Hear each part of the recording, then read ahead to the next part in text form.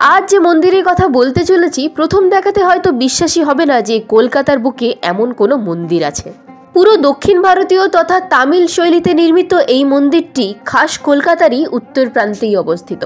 কীভাবে পৌঁছাবেন, মন্দিরের বিশেষত্বই বা কী, প্রবেশের সময় আরও সব কিছুই জানাব এই ভিডিওতে। মন্দিরটি শ্রী বৈকুণ্ঠ নামে পরিচিত। রাস্তার পাশেই বিশাল স্থাপত্য সবার নজর কাড়বে। মন্দিরের দেয়ালে, স্তম্ভে অসংখ্য মূর্তি খোদিত রয়েছে।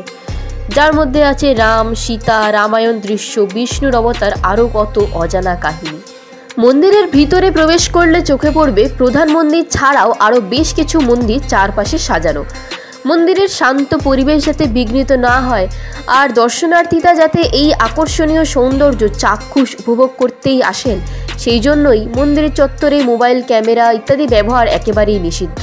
তাই ভিতরকার ছবি বা ভিডিও কিছুই সেভাবে দেখাতে পারলাম না। মন্দিরটি সম্পর্কে যতদূর জানা যায়, উনিশশো সালেই মন্দিরটি প্রথম নির্মিত হয়েছিল। বর্তমানে এটি ভোর পাঁচটা থেকে সকাল এগারোটা, বিকেল সাড়ে চারটে থেকে রাত সাড়ে আটটা অবধি খোলা থাকে। কোনো প্রবেশ মূল্য নেই। মন্দিরের বাইরে ফুল ও যাবতীয় পুজোর সামগ্রী পাওয়া যায়। চাইলে নিজের ইচ্ছে মতো পুজো দিতেই পারেন। এই অঞ্চলের বাইরের পরিবেশটা খুব একটা শান্ত বা নিরিবিলি না হলেও ভিতরকার শান্ত পরিবেশ ও সন্ধ্যারতি আপনার মনকে অনেকটাই শান্তি দেবে।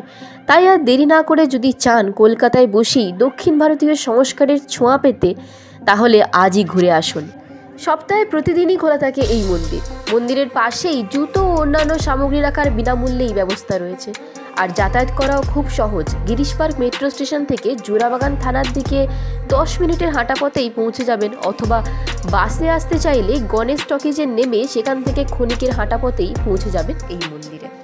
তবে আমার মতে বিকেলের দিকেই এই মন্দিরে যাওয়া শ্রেয়, কারণ সন্ধ্যারতির সময়ের যে সৌন্দর্য তা সত্যিই আপনাকে মুগ্ধ করবে।